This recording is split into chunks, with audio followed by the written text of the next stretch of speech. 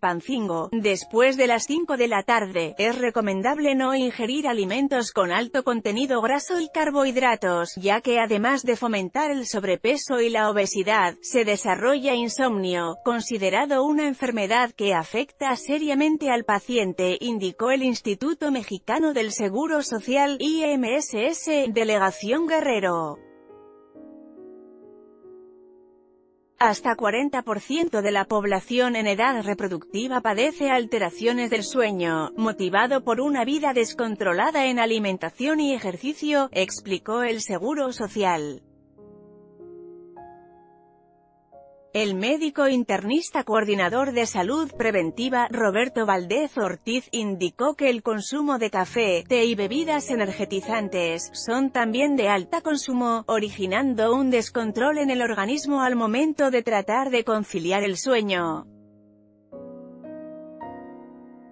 Foto, cortesía y MSS Guerrero también es necesario evitar antes de dormir la nicotina, ya que es un estimulante del sistema nervioso, y no, como suele creer quien fuma consuetudinariamente, un tranquilizante, y debe evitarse cerca de la hora de acostarse y en los despertares nocturnos. Además, provoca adicción, dependencia física y psicológica. El médico explicó que se puede sospechar de padecer insomnio, cuando una persona tarde más de 30 minutos en conciliar el sueño y duerma menos de 6 horas. Posteriormente si estas sensaciones son inferiores a 3 semanas o un menos, se conoce como insomnio ocasional o transitorio, y cuando es superior a ese tiempo, se denomina crónico.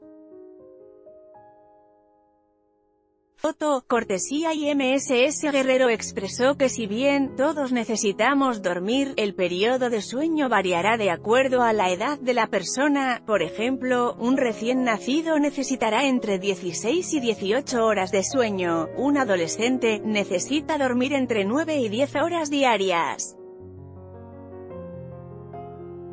mientras que los adultos necesitan por lo general entre 7 y 8 horas de sueño al día. Valdez Ortiz detalló no se debe tomar a la ligera el dormir ya que está integrado en las acciones de salud de cada día, es decir, se requiere dormir las horas que nos proporcionen el descanso suficiente para rendir durante el día de forma normal. Destacó que la automedicación debe descartarse y en caso de que necesite algún tratamiento farmacológico, será el especialista quien lo otorgará de acuerdo a las necesidades del paciente. En esta nota, Guerrero Alimentos Insomnio IMSS Guerrero